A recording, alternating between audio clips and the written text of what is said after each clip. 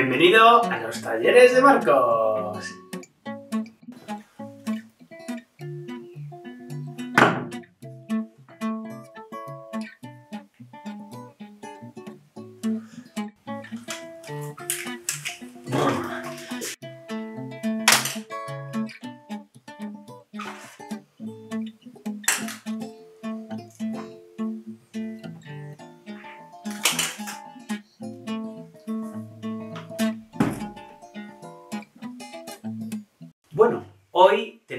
Algo muy especial. Me voy a peinar un poco.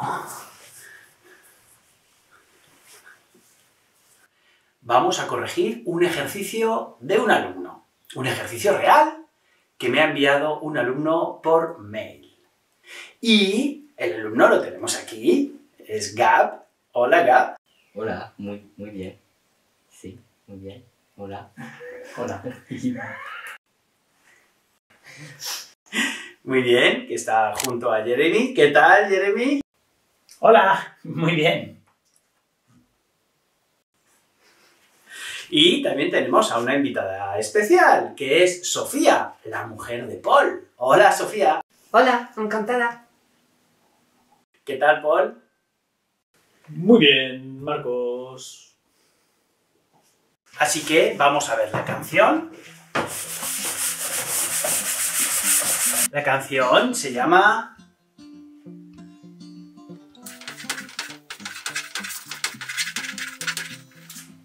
Con toda palabra de la cantante Lasa de Sela. con toda palabra, con toda sonrisa.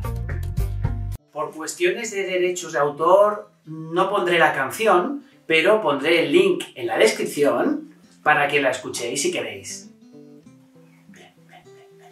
Entonces, Gab me ha enviado la canción por email y me gustaría corregir también el principio del mail.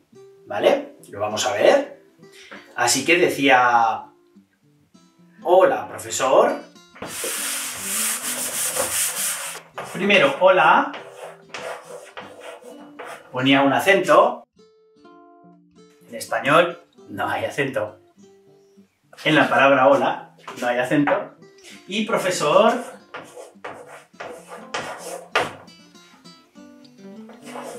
Lo pone con dos S. ¿Es porque eres francés, Gab? Sí, sí, soy. yo- Sí. ¿Eres francés? Eh, sí, soy francés. Sí, sí, soy Ok. francés. Ok, porque en francés se escribe con dos S, profesor, pero en español no. Y os voy a decir una regla básica, la regla de Carolina.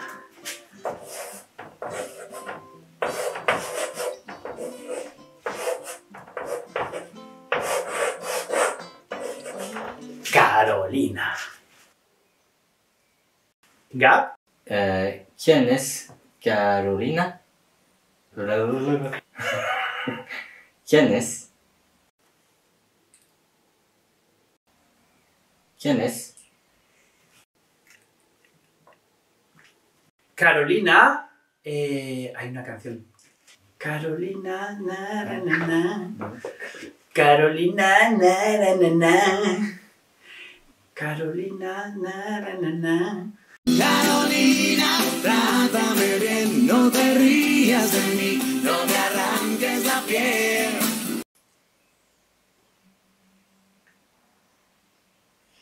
Carolina eh, es una regla mnemotécnica. Ah, vale, vale. Es decir, para recordar que en español solo la C, la R, la L y la N pueden aparecer dobles. Por ejemplo, en la palabra acción, en inglés es CT, action, en francés action o sí también, CT. En español el grupo CT es dos Cs, ¿vale? Esto solo puede aparecer cuando hay una E o cuando hay una I. Acceder, acción. Dos Rs cuando la R está entre dos vocales y se pronuncia fuerte, ¿vale? Por ejemplo, perro.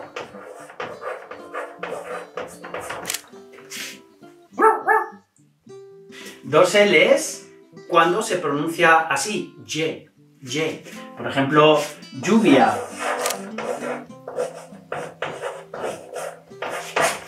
The rain, la pluie. Lluvia.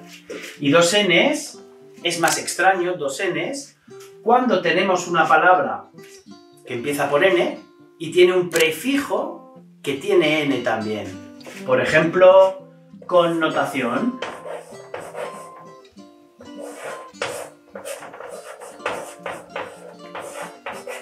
Connotación. Hay dos Ns porque tenemos una raíz que es la palabra nota o notar, que empieza por N, y tenemos un prefijo que tiene una N. Hay muy, muy pocas palabras aquí. Solo estas letras, solo estas letras pueden aparecer dobles en español. Entonces nunca vamos a encontrar dos S, dos Ps, dos Ms, dos Fs, nunca. ¿Vale?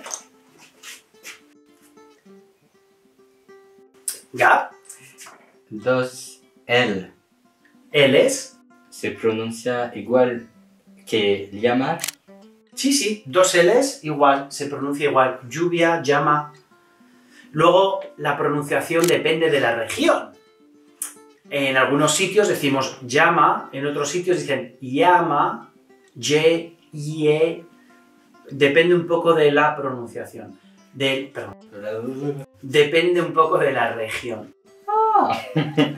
¿Vale? Pero dos L's nunca es el sonido de una sola L. Por ejemplo, la palabra paella, la paella, en Francia dicen paella. No, en España decimos paella, con dos L's, o paella. ¿Vale? ¿Todo claro, Sofía? Sí, sí, muy claro. Muy, muy claro. Muy, muy claro. Muy simpática tu mujer, Paul. Sí, sí. Muy simpática.